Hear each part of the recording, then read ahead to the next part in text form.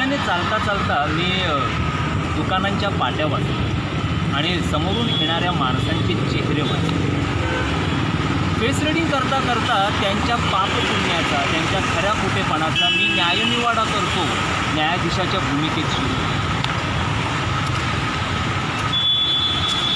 मी का सतत समोरच्याला जज करत असतो? स्वतः बुरखा पांघरून. मग चालता चालता कधीकधी मनात असा एक विचार येतो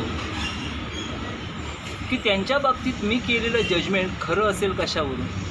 कदाचित तेही मला जज करत असतील त्यांनी पांघरलेल्या बुरख्या आडून. नाही का?